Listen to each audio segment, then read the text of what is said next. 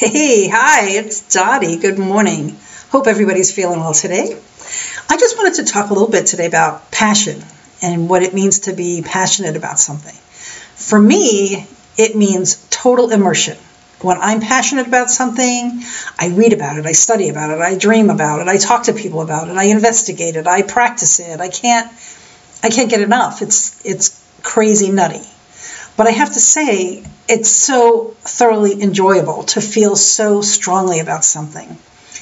And that's what I that's what I want to spend my career doing is being passionate about something, believing in something, loving something so much, so deeply that you have it in your heart that this is the most important thing ever and everybody's got to get on board and everybody's got to love it and you're going to share the word and you just can't you just can't not. I mean, it's just too major.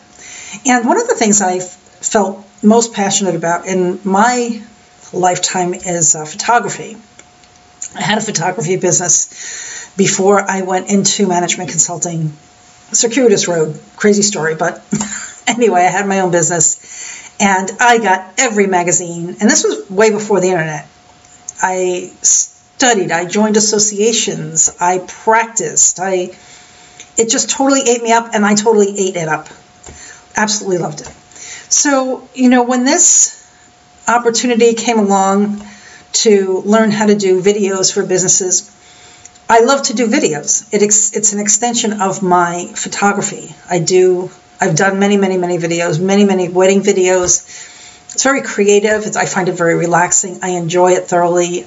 I will do them for complete strangers just for fun, and I put my heart and soul into them so that they can be the best ever. And so that was one of my initial passions, getting involved in this. But then I saw the real business is really promoting businesses. The videos were the mechanism by which you did that. And so my second passion is small businesses, small and medium businesses. I my husband owns a business for 30 years.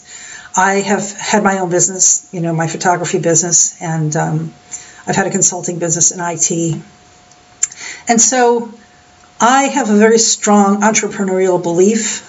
I believe in supporting businesses and local businesses. I love that people have pulled together their resources. I know what goes into running a business. I know how hard they work. I know how they put their hearts and soul on the line.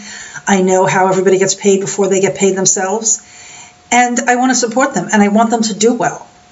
So for me, if I can do that for a business, if I can go into a local store and say, here's a way you can draw clients or customers and boost your bottom line and be successful and stay in business and help our community and employ people and pay taxes, that's a great day. That's a good time to me. So blending these two passions, I hope will just actually get me motivated enough to get out there and make a sale. That's where my blockade is, is that um, it was easy in photography because I advertised through, I was, a, I was a wedding photographer largely, and I advertised through printers and bakeries and jewelry stores and people, people came to me. If people come to me, I can sell. But that whole like cold calling thing, uh, not so good. So any tips that anybody has on that would be great.